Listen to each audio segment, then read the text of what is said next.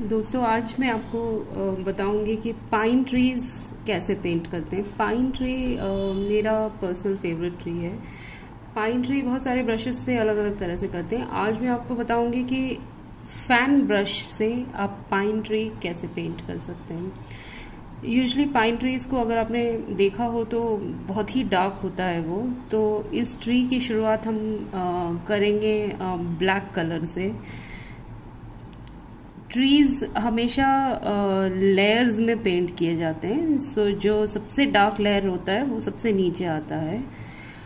और इस ब्रश में आपको ये ध्यान रखना है कि पेंट अच्छी खासी मात्रा में हो, होना चाहिए। पेंट थोड़ा सा वेस्ट भी होता है इसमें। लेकिन अगर आपके ब्रिसल्स अच्छी तरीके से पेंट को नहीं पकड़ेंगे तो फिर ये ब्रश जो है वो एस्ट्रे इधर उधर घूमता है, जिसकी वजह से आपका जो पाइन ट्री है वो बहुत सुंदर नहीं आएगा टेढ़ा मेढ़ा आता है। तो चलिए शुरू करते हैं। तो सबसे पहले मैं एक पाइन ट्री यहाँ पे पेंट करूँगी। मैंने बहुत सारे पेंट को ब्रिसल्स में ले लिए हैं और ये मैंने एक बेसिक सा स्टेम उसका पेंट कर दिया है। अब दोस्तों देखिए ब्रश के कॉर्नर से थोड़ा सा ऊपर से आप देखिए, इस तरह से आप पेंट करें। और धीरे धीरे आप नीचे तक आए।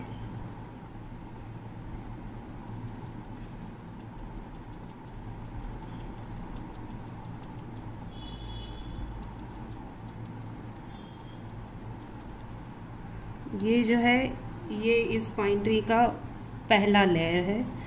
आप देख सकते हैं कि ये पाइन ट्री ऐसे भी बहुत सुंदर लगता है। पाइन ट्रीज हमेशा झुंड में होते हैं। कभी भी एक अकेला पाइन ट्री नहीं होता है। वैसे भी एक अकेला हमेशा बोर होता है। तो उसके साथ एक दोस्त तो होना ही चाहिए।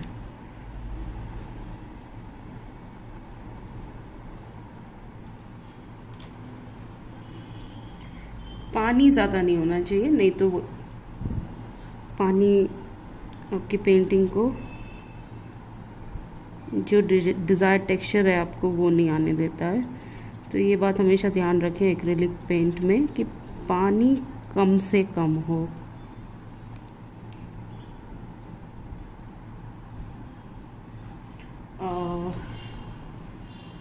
चलिए दोस्तों, दो तो इनफ लग रहा है। अब जो डार्केस्ट लेयर है, वो तो हमने बना लिया अब इसके बाद जो कलर हम डालेंगे, वो है sap green sap green colour green colour का ही जो डार्केस्ट फॉर्म है, वो है। एवरग्रीन ट्रीज के लिए मुझे ये सैप ग्रीन कलर बहुत पसंद है।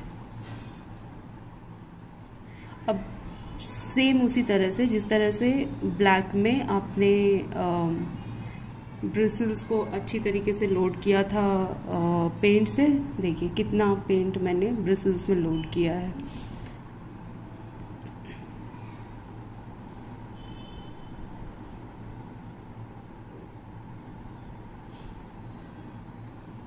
और ब्रश के कॉर्नर से ऊपर क्योंकि छोटा होता है तो ब्रश के कॉर्नर से शुरू करें। ब्लैक को पूरी तरीके से ना ढकें। उसके ऊपर एक लेयर सा बनाए। एक्रेलिक कलर्स की यही खासियत होती है कि वो एक दूसरे के ऊपर बड़ी अच्छी तरीके से आ जाते हैं। कोशिश करें कि एक पाइन ट्री जब बनाएँ तो एक बार में ब्रिसल्स को इतनी अच्छी तरीके से लोड करें कि वो एक पाइन ट्री आपके एक इसमें कवर हो जाए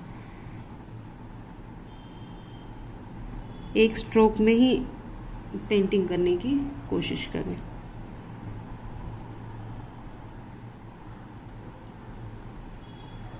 और कुछ मॉडिफिकेशंस आपको अकॉर्डिंग टू योर चॉइस करने पड़े तो कर दीजिए। पेंट करने वक्त। तो दोस्तों आपने देखा ये कितना इजीली पेंट हो गया। अब क्या है कि ये एक क्लियर डे है तो पाइन ट्री और ये बहुत ही नज़दीक से दिख रहा है पाइन ट्री बैकग्राउंड में नहीं है, ये फोरग्राउंड में है।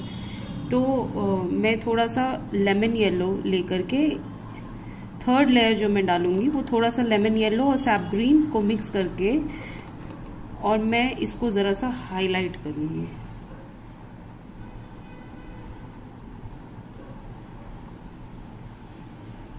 बहुत थोड़ा थोड़ा सा लगाएँ, ज़्यादा लगाने की ज़रूरत नहीं है। बस ज़रा सा हाईलाइट करना है ताकि और प्रिशिशन से दिखाई दे बस। सब मत ढके, सारा ब्लैक कलर और ग्रीन कलर ना ढके। हल्का हल्का सा। पानी नहीं होना चाहिए। पानी होगा तो फिर आपको जो टेक्सचर चाहिए वो नहीं आएगा।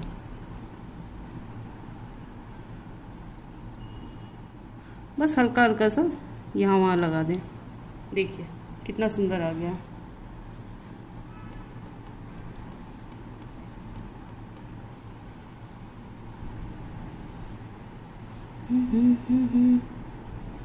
सुंदरा पे नीला नीला।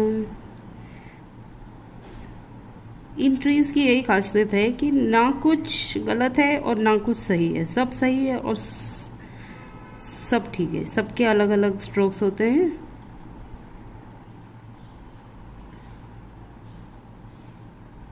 अब जो मैं लेयर लगाने वाली हूँ ये मैंने आ, मिक्स करके लगाया था ग्रीन और येलो को। अब मैं प्योर येलो का लेयर लगाऊँगी। बहुत ही हल्का सा लगाऊँगी, ज़्यादा लगाने की ज़रूरत नहीं है, ताकि ये अच्छी तरीके से हाईलाइट हो जाए।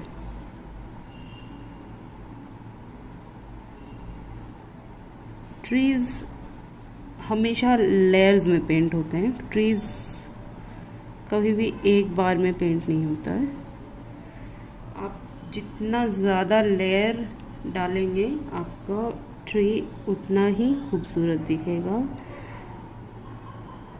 हाँ आपको करना केवल यही है कि आपका एक लेयर दूसरे लेयर से अलग दिखना चाहिए। कभी भी आपके एक लेयर ने दूसरे लेयर को पूरी तरीके से ढकना नहीं चाहिए।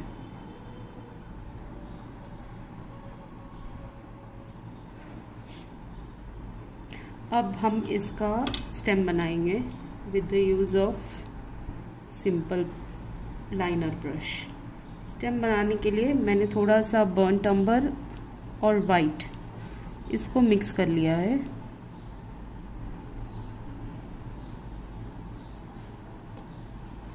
अब ये जो लेयर है, ये हमें कहीं कहीं दिखाना है क्योंकि ये हमारा पाइन ट्री इतना ज़्यादा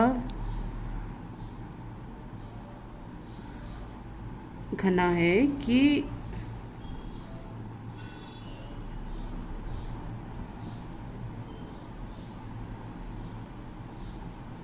ये लीव से ढक चुका है।